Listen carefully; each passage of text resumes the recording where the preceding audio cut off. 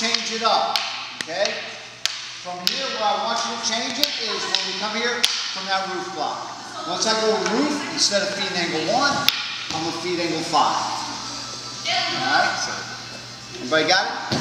Angle one, so you inside the flat. A roof, thrust, he passes. I outside the fleck. Obviously, my target's the hand. I outside the fleck. And once again, there's that checking match right there, ready to go.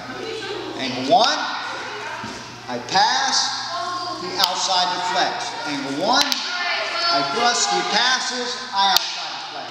One, two, three. One, two, three. Okay?